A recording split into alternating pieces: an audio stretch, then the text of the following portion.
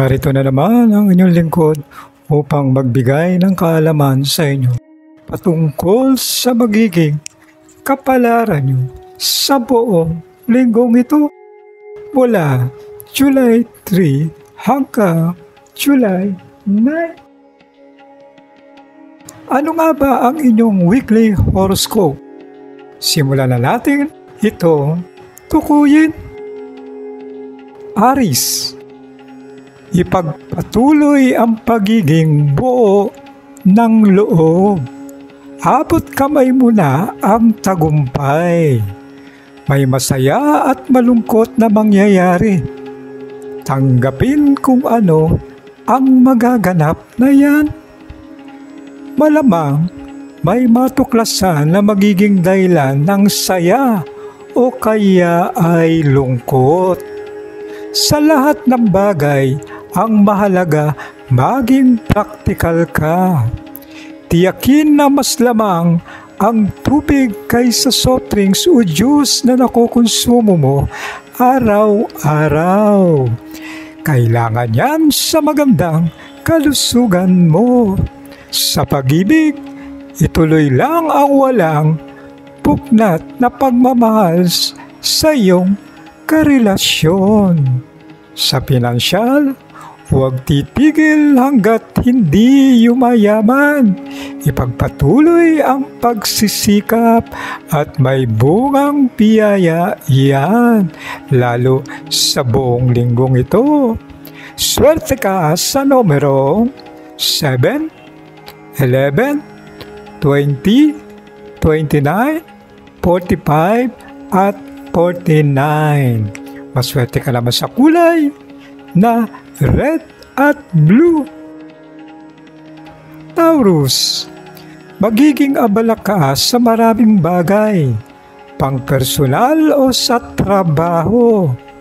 May pagtatampong kaibigan dahil hindi mapapaunlakan sa kanyang kahilingan. Huwag hayaang mawala ang minamahal dahil sa pagiging abala sa trabaho. Silipin din ang kagustuhan ng iyong karelasyon. Maglaan ng oras para sa kanya.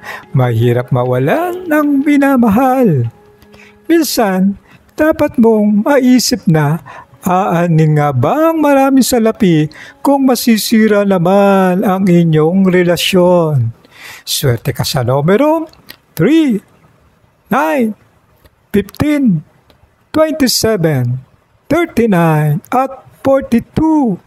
Maswerte ka naman sa kulay na lilac at pink. Gemini Pagkatapos ng kalungkutan o ang sinasabing kadilimang bahagi ng iyong buhay sa mga nagdaang araw, Ligaya naman ang kasunod at kahit bahagyang nasimutan sa lapi sa susunod na buwan, mas maraming biyaya ang kusang darating. Kung may suliranin ang iyong kaibigan, ikaw ang makakaresolba sa pamamagitan ng payo o kaya'y material na bagay. Lingunin ang pinanggalingan at iwasang maghangad ng sobra Mabuti at tama ang laging ikonsidera sa buong linggong ito. Swerte ka naman sa numero 2, 7, 19, 28, 34, at 41. Maswerteng kulay, silver at gold. Cancer. Hindi sa lahat ng pagkakataon ay magsasawalang kibo ka na lang kailangan mo ring magsalita, maging alerto at makiramdam ng mabuti. Ang inggit na mga kasamaan sa trabaho ay hindi maiiwasan. Kaya pantay-pantay o kaya maging mapatnubay sa pag-ibig Sabihin na sa iyong kasuyo ang isang bagay na gustong gusto mong mangyari sa inyong relasyon. Sa pinansyal, Kung aalisin ang awa at konting pagkapraktikalidad ang pairalin, mas madali kang uunlad at yayaman. Pag-aralan ito ngayong buong linggo. Swerteng numero 2, 16, 25, 34, 39 at 42. Maswerteng kulay, lilac at purple. Leo, habang umiinit ang panahon, isa-isa lang matutupad ang iyong mga pangarap. Magsisimula ito sa buong linggong ito. Kung harapin ang dapat na harapin, lalo kang makikilala dahil sa iyong talino at husay. May surprise ang darating. Sa pag-ibig, ituloy lang ang pakikipagrelasyon sa iyong minamahal. Kung may tuntin tampuhan, ayusin. Swerte ka sa numerong 1, 4, 18, 26, 38 at 45. Maswerteng kulay, pink at gold. Virgo, ang nararamdaman mo sa iyong ka-Facebook ay totoo na. Ako, tiyaking, totoo din siya sa iyo. Gumawa agad ng paraan kung ayaw mong maunahan ng iba. Sa pinansyal, madaling kumita ng salapi ang problema, madari mo rin itong ginagastos. Tipid-tipid. Dapat alam mo na ang pagtitipid at pagsisinop ng salipi ang tulay na depensyon ng salitang maunlad.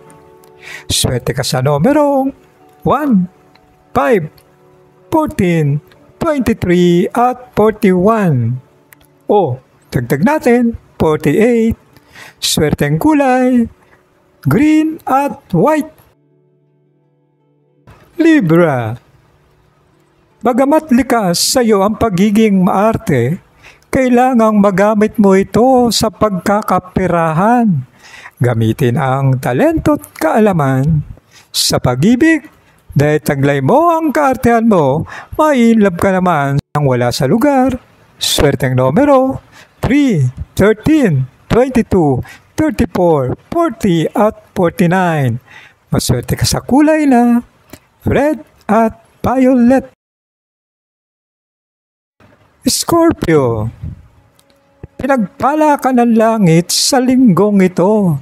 Dahil sa araw na ito, sabay na darating ang isang masayang pag-ibig at ang pag-angat ng tuloy-tuloy na kabuhayan. Dapat lagi kang nagpapasalamat sa Panginoon Diyos at sa tumutulong nang hindi ipinamamalita sa mga taong gusto mong tulungan. Swerte ka sa numero 1, 10, 28, 31, 40 at 47. Maswerte ka naman sa kulay na lilac at blue. Sagittarius, ngayon na ang araw na patuloy na uunlad ang iyong kabuhayan. Simula sa unang araw ng linggong ito at wala kang magagawa kundi dumami ng dumami ang iyong pera. Nakakaingit. Kailangan mo ang payo ng higit na nakakaalam sa iyong problema na kinakaharap sa ngayon. Iwasan ang magdala o magpadala sa emosyon mo. Ang pagpaparaya ay pagpapakita ng pagkamaunawain at pagmamahal.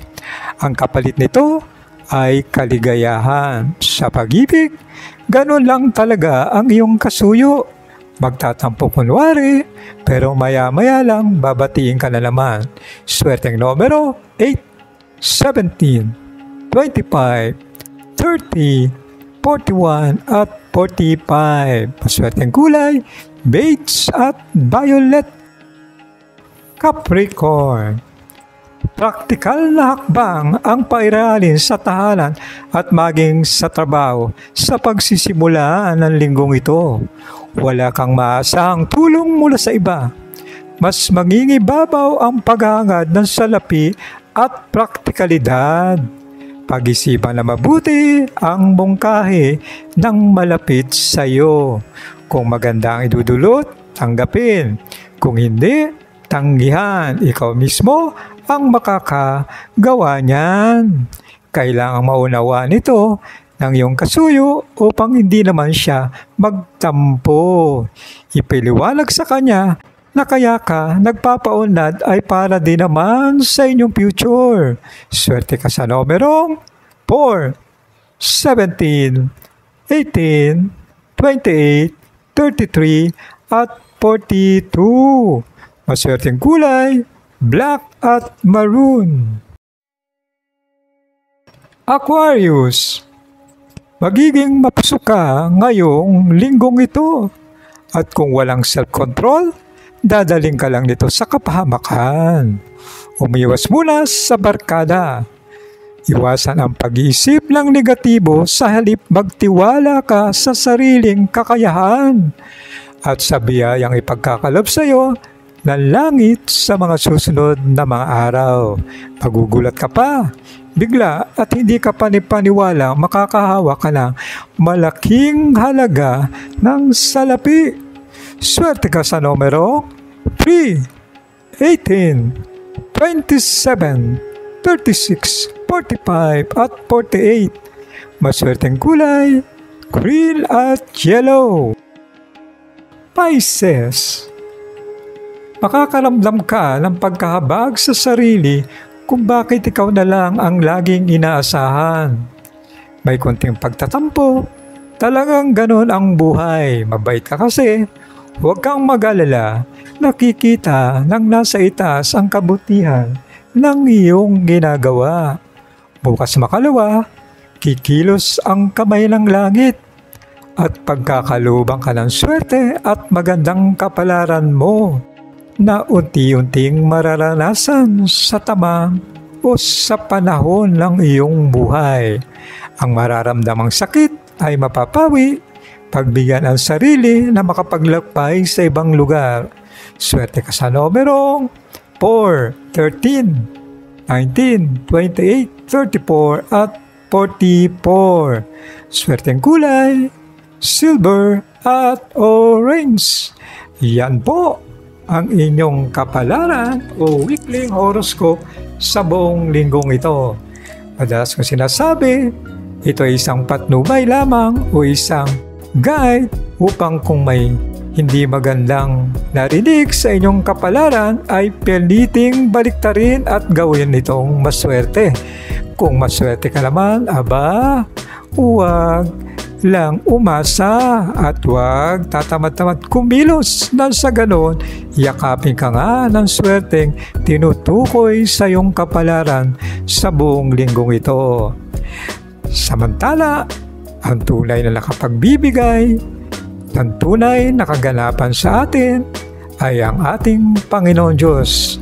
Ulitin ko, ito ay isang guide lamang o isang patubay upang mabuksan ang iyong isipan. Yan po, sana naunawaan nyo ang kaparalan nyo sa buong linggong ito. Muli, ang inyong lingkod, si Shalir Haila, nagsasabing, ang mabuting gawa, ilalayo ka ng Diyos sa masama at dadaling ka sa magandang biyaya. Subscribe lang, pindutin ang bottom bell, nang sa ganon, lagi kayong maging updated. Salamat po!